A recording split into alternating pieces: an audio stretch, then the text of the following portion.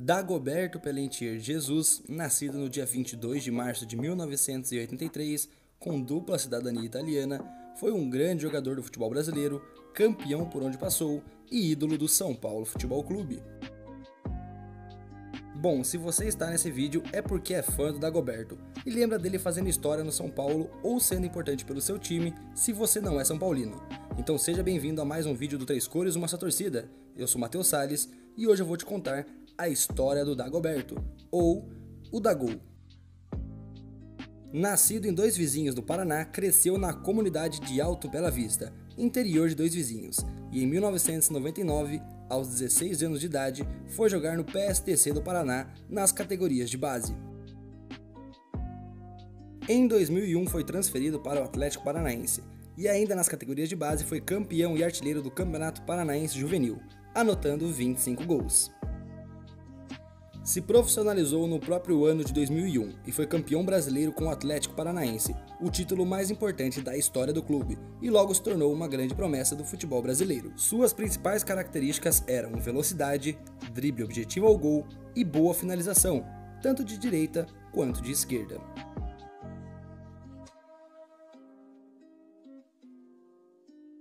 Foi convocado diversas vezes para as seleções brasileiras de base, no período de Atlético até a chegada no São Paulo, e foi campeão da Copa do Mundo FIFA Sub-20 de 2003. Ganhou também o Torneio Internacional de Toulon de 2002 e o Torneio Malásia de 2003. A cada ano foi ganhando mais destaque no Atlético Paranaense e no futebol brasileiro, conquistando mais dois títulos com o Furacão, o título estadual de 2002 e o de 2005. Sua melhor temporada lá foi a de 2004, onde anotou 12 gols em 30 jogos, tendo uma média de 0,4 gols por partida. No total foram 106 jogos e 30 gols por 6 temporadas, conquistando 3 títulos pelo Furacão. Dagoberto, o nome do jogo, fez outros 3 de pênalti, com a bola rolando, e mais um de pênalti. Em 2007, chega no São Paulo que vinha de título estadual, brasileiro, da América e do mundo nos últimos anos. Dagoberto certamente chegava como grande contratação, e não mais como uma promessa. No auge dos seus 24 anos, chegava para ser titular do time de Murici Ramalho, que brigava pelo bi do Campeonato Brasileiro. E logo de cara, Dagoberto encantou a torcida e chegou com tudo no tricolor, fazendo 7 gols em 35 jogos, sendo gols contra Santos, Corinthians e gol no jogo do título contra o América. Dagoberto já marcava seu nome na história de São Paulo, mas era só o começo. Vai cair no Souza aqui pela direita. Vai cruzar de novo. E tome bola na área. Subiu da Gilberto.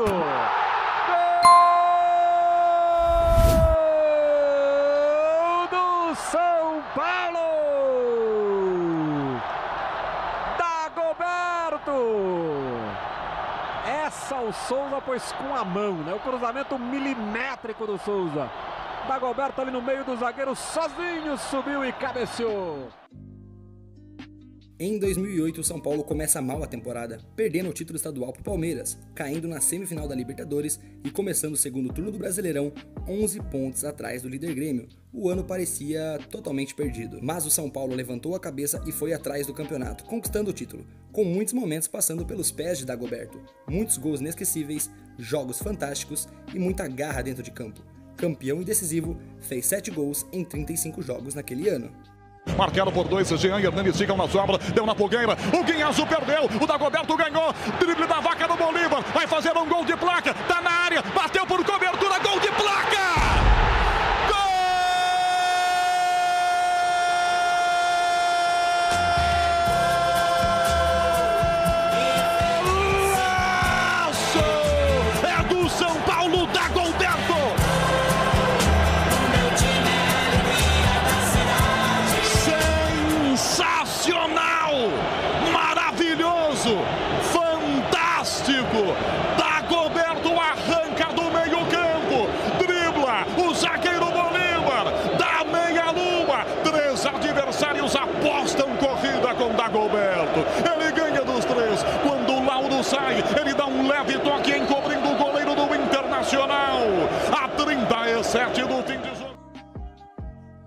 2009, o São Paulo não conquista título, mas Dagoberto novamente se destaca, fazendo 10 gols em 52 jogos. É um dos principais jogadores do São Paulo naquela temporada.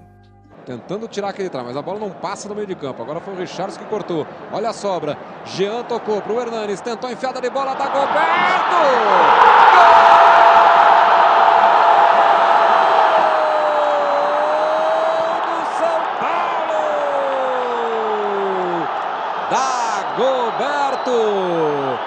Que bola meteu o Hernanes, hein? Outra vez funcionou a roubada de bola do São Paulo. E olha a enfiada do Hernanes na medida. Dagoberto estica a perna direita. E na marca de 21 minutos, o São Paulo abre o placar no Morumbi. 1 a 0 No ano de 2010, o São Paulo bate na trave e chega até as semifinais da Libertadores. Dagol novamente tem um ótimo ano, fazendo 15 gols em 48 jogos. E da Copa São Paulo do ano passado, que jogou pelo São Paulo Mazola, que jogou até pelo time de, contra o Mirassol, na partida do Mirassol, foi emprestado pro Paulista. Dagoberto puxou pro pé direito, vai levando todo mundo para fazer um golaço Dagoberto! Gol!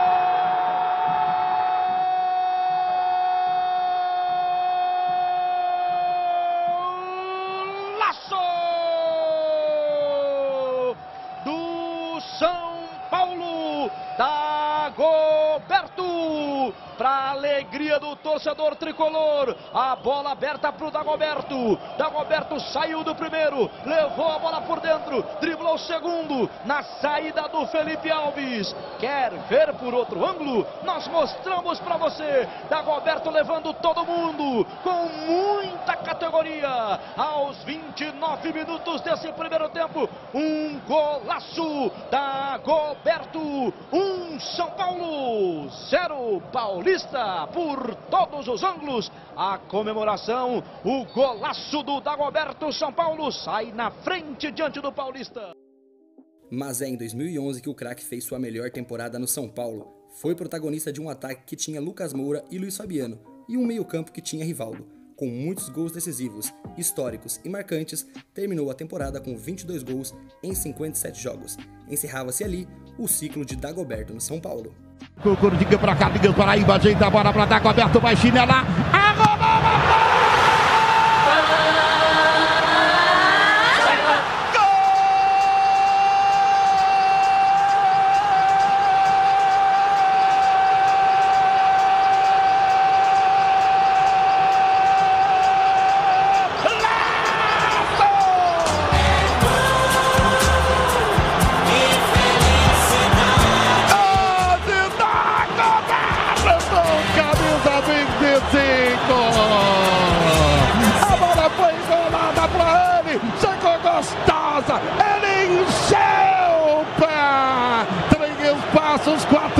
quatro passos antes da meia-lua da grande área. Fulminou, foi toda cheia de curva.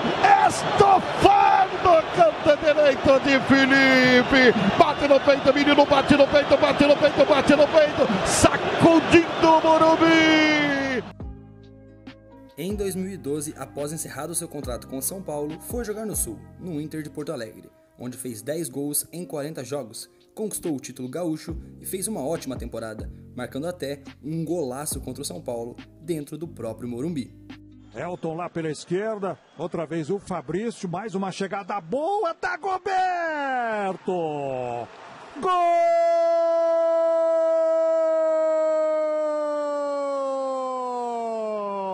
E que golaço! Sete minutos de jogo, Dagoberto pegou de primeira.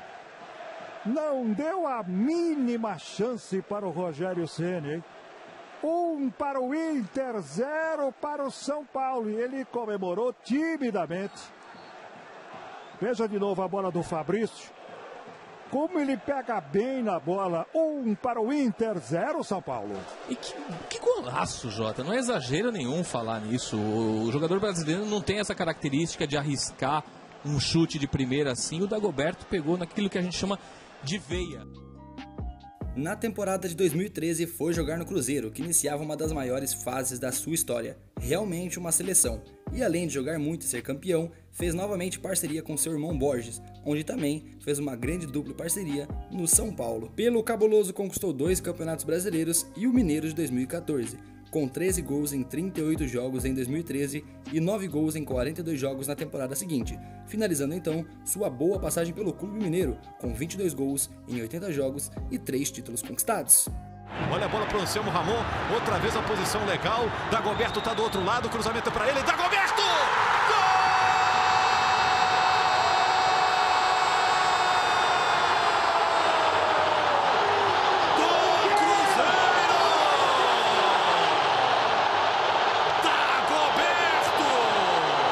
Não ficou com o Lins, Egídio. Tem muito espaço agora o Dagoberto tocou no meio. Everton, que beleza, Dagoberto bateu!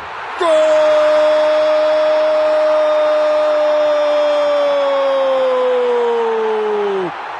É do Cruzeiro!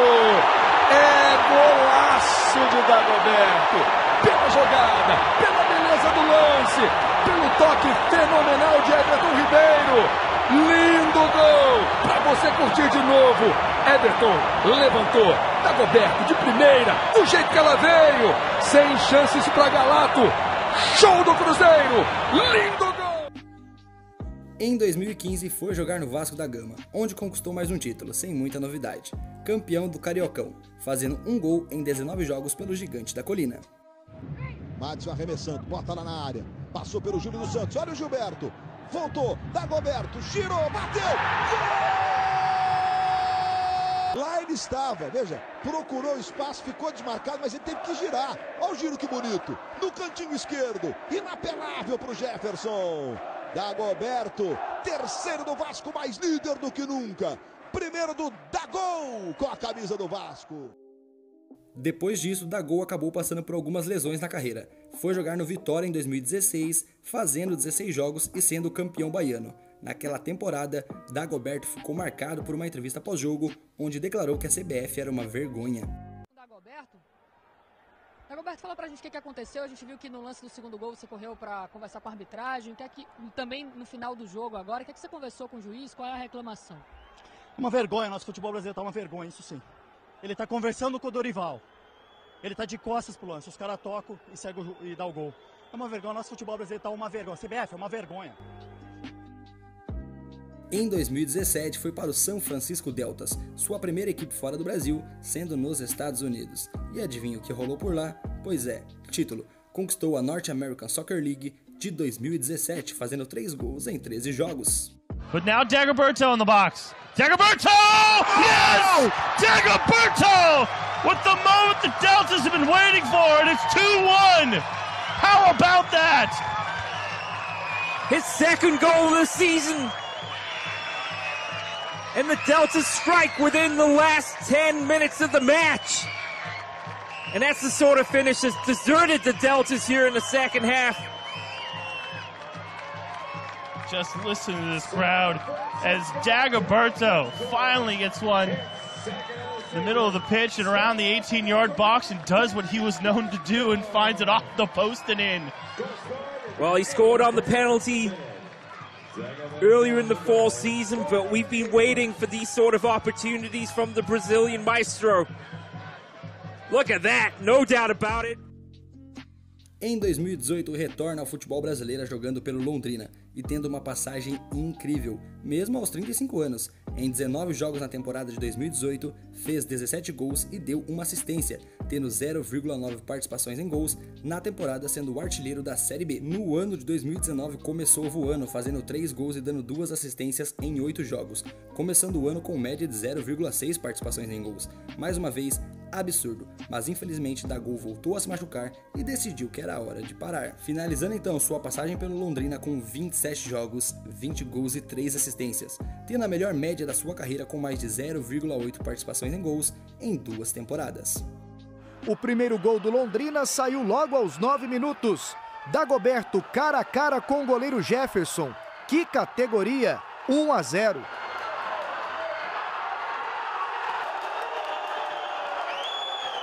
Ainda no primeiro tempo, Dagoberto foi perfeito na cobrança de falta. Ele conhece das coisas. 2 a 0. Mais Londrina, pênalti e Dagoberto não perdoou. O terceiro dele. Que noite do Dagol! Dagol acabou não tendo uma despedida oficial no futebol, mas todo mundo sabia que ele tinha que se despedir pelo São Paulo, e em 2019 rolou a Legends Cup no Brasil, onde o São Paulo enfrentou o Bayern, Barcelona e acabou sendo campeão. E o protagonista do dia foi Dagoberto, marcando gols, jogando muito, fazendo um golaço de cobertura e sendo ovacionado pela torcida no estádio. E aquilo deu sim uma sensação de despedida.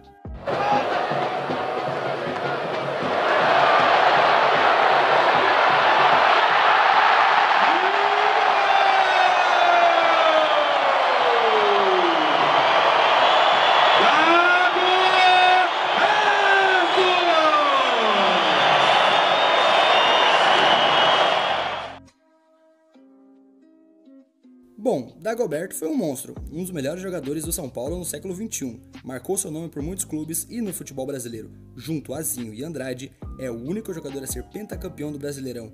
E se você não considerar a Copa União de 1987 do Flamengo, ele segue sendo o único com cinco títulos. Na carreira são 147 gols oficiais em 545 jogos, 15 títulos e uma artilharia. E essa foi a história do monstro Dagoberto, ou o Dagol.